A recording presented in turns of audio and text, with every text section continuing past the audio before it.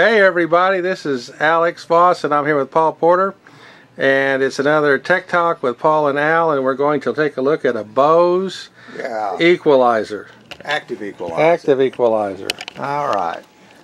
We've already got this apart and kind of have an idea what's wrong with it. Uh, power light comes on, but it's dead, no sound. There's no power switch, there's no fuse. Uh, my guess is that the power transformer is open, probably from a power surge. So we'll take an ohm meter, put across the plug, and sure enough, it's open. So that's not a transformer, No, it's an open transformer. piece of uh, piece Yeah. of iron. Yeah, so that transformer's bad, definitely. I've got the audio cables hooked up.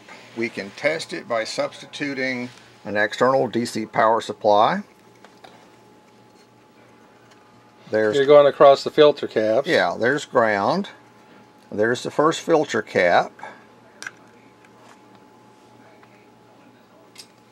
And Now you have audio. Yeah. Yeah. So the solution Take- is you're going to have to replace the transformer. Yeah. Yeah, I'll give it power and it works. Uh, so basically, the things we need to know from this is uh, if you if your if your AC input's feeding into a transformer, you can take a ohm meter and measure the primary on the transformer using the power cord. Yep.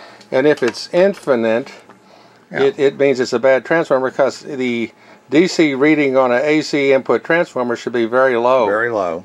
And so this was almost infinitely high, so that's definitely a It's bad. open. Yeah. We, we would check the fuse and the power switch and, of course, the cord first. Because Mm-hmm. the transformer is the least likely thing to fail. Mm-hmm. More likely to have a rectifier short or a capacitor fail. But in this case, the rectifiers are good, capacitors are good. Mm-hmm. We know there's no switch or power uh, fuse or power switch. I ohmed it out. I mean, I could ohm the cord out, but I'm not going to because the cord's not bad on this case. Mm-hmm. Hook power to it. We know it works, so it's worth going and finding a replacement transformer to restore this to operation. Yeah.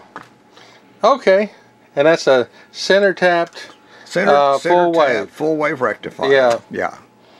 Okay. Well, thank you, Paul. But look, look at that. Transistors in in the wild. Mm-hmm. No integrated circuits, transistors, and discrete components. And American I mean, capacitors. resistors, capacitors, electrolytics, And a genuine American, Bose board. American-made transistors. Uh-huh.